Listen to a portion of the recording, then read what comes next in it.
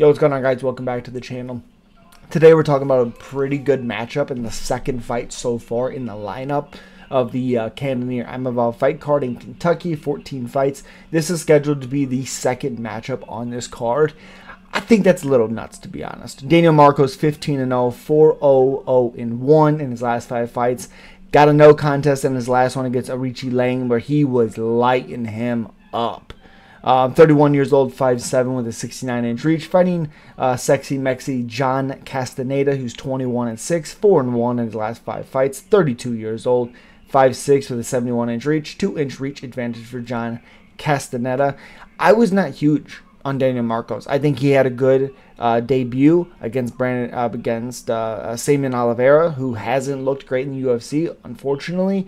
But I thought he absolutely not even closely lost against Davey Grant, who is a veteran, older veteran, um, durable as anything, and I thought he clearly lost. Comes back and he fights Aoriqileng and looks incredible, and then it becomes a no contest.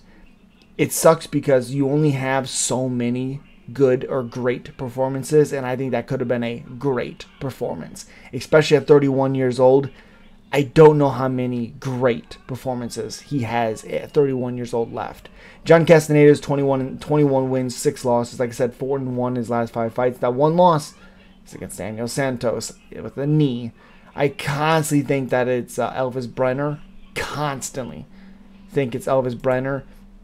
And Daniel Santos is a very, very good you know, beating John Castaneda by with the knee, beating Johnny Munoz by decision in 2023, losing to Julio Arce, which fine, sure, but it was a big comeback from behind, come from behind victory for Daniel Santos, who John Castaneda looked really good up until that, you know, he started getting tired.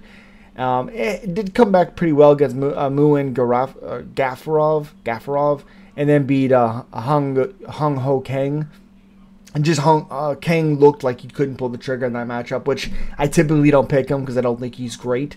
And then he ends up winning the matchup. So I took a chance, picked Kang in that one because of his reach. He's a veteran. He's pretty good striker, durable as anything.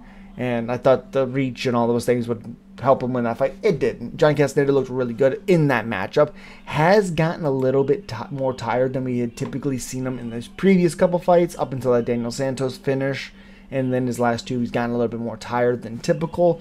So I don't know if that's an age thing because he's 32 years old. I'm not really for sure. Did miss weight in his last one by a pound and 1.6 pounds. That's an issue.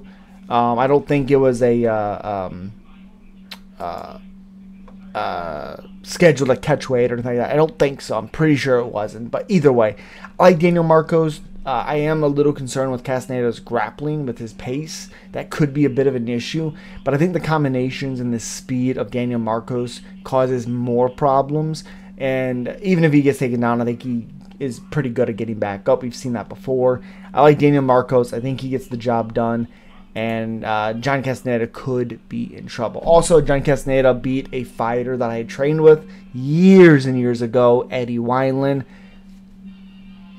wild experience. I'll go on a little tangent here. So I went to Keith Wisniewski's gym one time after I had my amateur had an amateur fight, and uh, go to the gym. I get in there. Uh, I had a hard time finding the place to be honest. I was a, I was a little bit late, which sucked because I had never been there before. But Keith and Eddie are, are training, or they're talking, I mean, and then a bunch of other people are training. I roll with uh, Eddie Wineland, which I was already starstruck as it was. He is very, very strong, very powerful, no matter what he's doing. Um, it didn't end very well. I, I, would like to say that if I wasn't so starstruck or uh, nervous, I would do better. Possibly, maybe I would. Uh, I have confidence in that area, but Eddie Wineland's a monster, especially back in those days. And this was probably 2015, I would say. But as always, guys, thank you. Peace.